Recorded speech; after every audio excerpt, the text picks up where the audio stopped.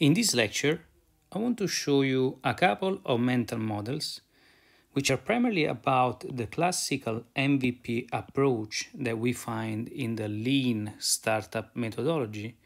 And I suggest in most cases to move toward a sort of leaner MVP approach, or at least we're going to call it leaner MVP approach. Now, if you're familiar to the mental model of the MVP in business, Usually, this is a model that uh, is going to help us to reach a product market fit. It means that we want to go through a loop of build, demo, sell, and go that over and over again so that we can iterate quickly and improve our product to reach this so called product market fit, which simply means that the market really wants the product uh, that we uh, manage to build over time. Now, the problem with this sort of approach is that it might uh, shift the focus uh, on the, the product first, which means that we might be uh, really focusing on building the product and so more on the technical aspects of the products.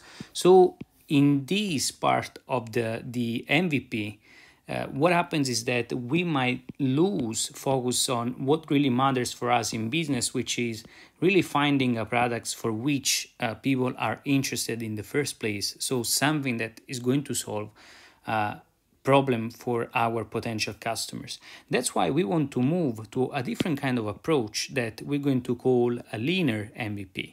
In a leaner MVP, we focus on problem solution fit. Problem solution fit means that our main focus will be to understand whether this product might solve an actual problem in the first place. That's why we move from a place where we start building the product here to a place where we first demo something that doesn't have to be, you know, the product can be, for instance, a landing page of the idea that we have, and then from there really go and uh, sell what we have.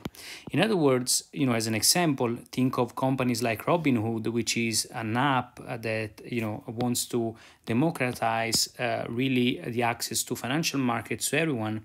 Before the app was even ready, actually, um, uh, its founders opened up a wait list. So it's a demo process, a wait list to show people the product that they had in mind. And after that, they really started to then sell the product, which means, you know, they started to, you know, uh, enable people to use the app and then of course from there uh, sell through uh, you know sort of their business model so again here what we want to do we want to move from a mental model which is the classical mvp to a model which looks at the pro problem solution fit. So again, from problem from product market fit to problem solution fit and from build, demo, sell.